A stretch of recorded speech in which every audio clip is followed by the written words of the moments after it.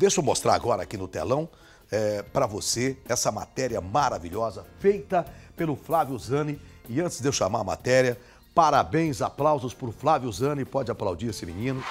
Esse menino hoje está completando 11 anos de SBT Interior. 11 anos, o Flavinho está com a gente. Começou criança aqui, está com a gente até agora. Que bom, grande profissional, sujeito maravilhoso. Mas agora vamos para a matéria. A pacientes do Hospital Neurológico Ritinha Prates se transformaram em modelos para um ensaio fotográfico com roupas de reis e rainhas. Eles foram clicados e fazem parte de uma exposição que pode ser conferida no Shopping Praça Nova, em Araçatuba. E o Flavinho Zani foi ver de perto as fotos e ele vai contar para a gente agora como foi essa experiência. Pois não, Flávio? Um passeio pelo shopping tem inúmeras atrações, mas esta em especial é um convite a uma reflexão. Ao todo, 24 imagens fazem parte da exposição Um Olhar para o Mundo. São pacientes do Hospital Neurológico Ritinha Prates que protagonizam cada tela. Elisângela é mãe do Cristiano.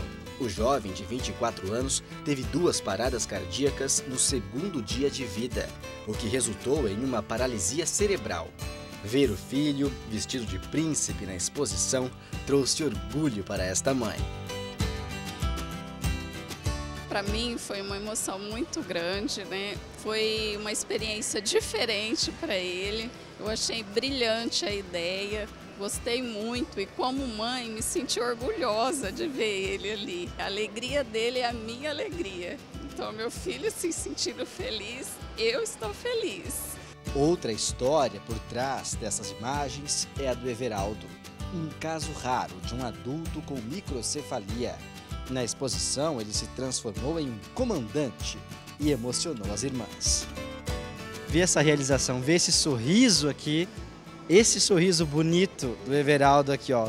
A irmã olhando isso. Sente o quê?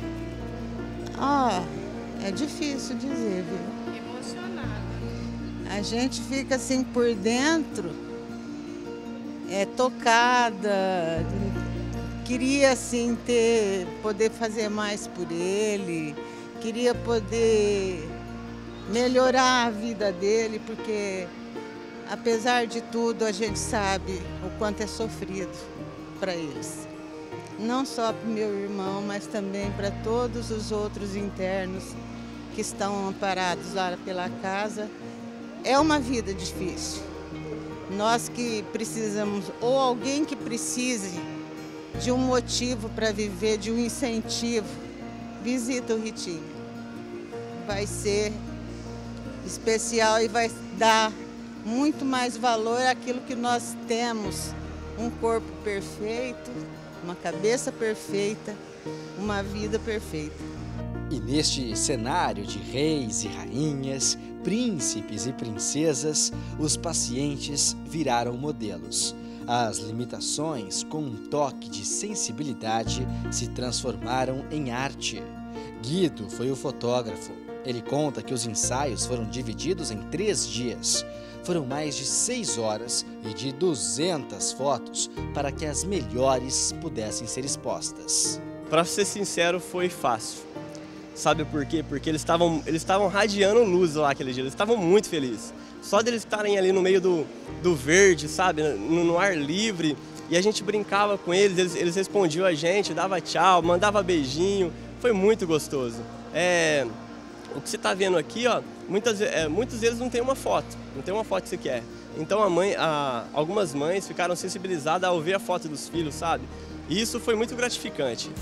A ideia de fazer a exposição veio de funcionários do Ritinha Prates. Em poucos dias, mais de 100 empresas decidiram patrocinar o ensaio fotográfico.